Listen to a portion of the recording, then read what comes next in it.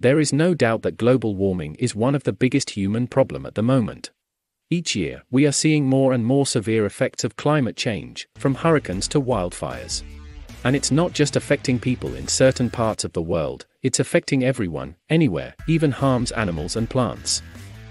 There are many things people can do to stop global warming. Some of these include things like conserving energy, using public transportation, and reducing the number of everyday products we're using. One of the most important things people can do is to be aware of the issue. You can educate yourself on the science behind global warming and learn about the ways you can help. You can also tell your friends and family about it so they can help out too, and our planet can survive this problem much easier. There are many things people can do to stop global warming. The first and most important thing is to use less electricity. If we use less electricity, then there will be less need for coal fired power plants, which are one of the biggest sources of greenhouse gas emissions today. For example, phone chargers use a lot of electricity even when they are not charging your phone. Suppose you have a bunch of chargers plugged into the wall. In that case, you're wasting electricity and money, and you allow global warming to continue expanding. But not only chargers are wasting electricity, kitchen accessories are doing the same. Toaster, microwave, and other appliances in the kitchen use a lot of energy and often go unnoticed. In fact, toasters use almost as much energy as phone chargers on daily basis. Suppose we want to cut down on our home's electricity usage so we can save the energy. In that case, it's important to be aware of how much power these appliances use when you're not using them. Unplugging them when they are not in use is an excellent way to start saving the planet. This is just one example of how people are unaware of how their everyday actions impact the environment. If more people were conscientious of their consumption, then we could make a real difference in preserving our planet. Another thing we can do to prevent global warming is to drive less combustion engine cars. For an example, if every American drove just one mile less per day, it would save the equivalent of taking more than 5 million cars off the road. But America has around 300 million citizens. Imagine that the whole world of 7 billion people saves just one mile every day. That may seem like a daunting task, but when you consider that there are over 7 billion people on Earth, it's not quite as impossible as it seems. If you start doing that, tell your friends to do the same, and they tell their friends. And maybe, this idea will one day spread like a virus, and we can succeed in our mission. But, if we can't convince people to drive less just one mile per day, then we have to rely on replacing combustion engine cars with electrical ones. Electric vehicles are the future, there's simply no denying it. And while the idea of giving up our gas guzzling cars in favor of something more environmentally friendly may seem daunting, it's a change that needs to happen, sooner rather than later. Cars are one of the main sources of pollution, over 30% of pollution is caused by cars. Cars emit various gases and particles that can harm human health and the environment. The World Health Organization estimates that outdoor air pollution from cars causes around 3 million premature deaths every year, and increasing every year.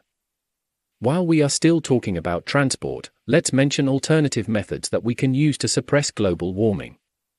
Every one of us can do our part to help reduce greenhouse gas emissions by choosing to walk, ride a bike, or take public transportation instead of driving car. Together, we can make a real difference in the fight against climate change. Each mode of transportation has its own advantages. Walking is great for shorter distances and has many health benefits. Bike riding is a great way to get exercise while reducing your carbon footprint. Taking public transportation is a great way to save money and reduce your environmental impact. Choose the right mode of transportation for your needs to get the most benefits, but please don't harm the environment. So, let's move to another way of helping our planet to survive this ecological problem. Another thing to do to help the planet is start purchasing more products that are made of recycled materials. If every person did this, it would greatly impact the amount of pollution we produce every year. It is important to purchase recycled products, but it's also important to recycle the products we have used. By recycling, we can help reducing the amount of pollution caused by manufacturing brand new products. However, there are many benefits to using recycled materials in construction, house, or everyday activities. Not only does it help the planet by keeping materials out of landfills, but it can also be cheaper and stronger than using new materials. Studies have shown that recycled materials can be up to 80% cheaper than new materials. They can also be just as strong, or even stronger, than new materials. As you can see, using recycled materials helps to reduce the amount of energy needed to produce new materials, and it also reduces the amount of pollution produced in the manufacturing process for final product. While we're still speaking about recycled materials for everyday products, it's worth mentioning that buying clothing made of recycled materials or hemp is a good way to be more sustainable. Here are some reasons to buy recycled clothing from an environmental standpoint. It requires less energy to produce recycled clothes than it does to create brand new ones. In addition, recycled clothes use less water and fewer resources while creating less pollution. In addition to being environmentally friendly, recycled clothing is often more stylish and affordable than clothing made from pure materials. These days, there is a big number of companies that are specialized in recycled clothing, and many major retailers now carry lines of recycled clothing so they can help our planet. Waste disposal is a growing problem for human civilization. It destroys the environment and contributes to the pollution problem. Every day, each of us creates 4.3 pounds of garbage. Multiply that by the world's population, and you get 1.3 billion pounds of trash produced every day. That's a lot of waste. The average American generates 4.6 pounds of trash per day, while the average person in the developing world creates 0.5 pounds per day. Plastic pollutes our planet in ways that most people don't even realize. The average person probably doesn't think about where their waste goes after they throw it away, but the numbers are startling. The majority of this waste, 63%, is buried in landfills, where it takes centuries to decompose. The rest is incinerated, which creates air pollution and toxic ash, and less than 1% of all plastic waste is recycled, which is not quite enough to keep balance between wasted and recycled. We need to start being more conscientious about using plastic and recycling what we can, as much we can. Otherwise, we will tank into even bigger problems. The cost of this problem is not just the loss of life in the ocean. It also has an economic cost. Cleaners have to be paid to clean up the mess, and this work is often dangerous for them. In addition, the toxic waste from the oil spill can damage ecosystems, making it difficult for plants and animals to survive.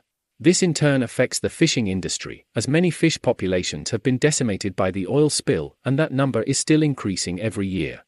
So be careful where you throw rubbish, because, as you can see, it can endanger the environment a lot. And the last thing we can do to stop global warming is to plant trees. Trees are one of the most important things for environment. They provide shade, filter the air, and help to prevent soil erosion. Plus, they are pretty. Did you know that we need to plant 1 trillion trees in order to stop global warming? That's a lot of trees, but it's not impossible. With everyone's help, we can plant trees and help save our planet. When we do the math, each human has to plant approximately 142 trees, and we will stop the pollution. Additionally, planting trees help to reduce the amount of carbon dioxide in the atmosphere. It also helps to stabilize the climate, prevent erosion, and provides habitats for animals. Trees are a vital part of our ecosystem and are necessary to help fight climate change. Those are the habits that we're doing every day, and basically, the world's pollution depends on them. We can increase good habits or otherwise reduce habits that are bad for our environment. Please take care of your surroundings, do not pollute, and leave everything clean behind you. The planet Earth is our home, and if we can't keep it clean, it will become a bad place for life. Thanks for watching and please like this video, hit the subscribe button, and tell us your opinion in comments below.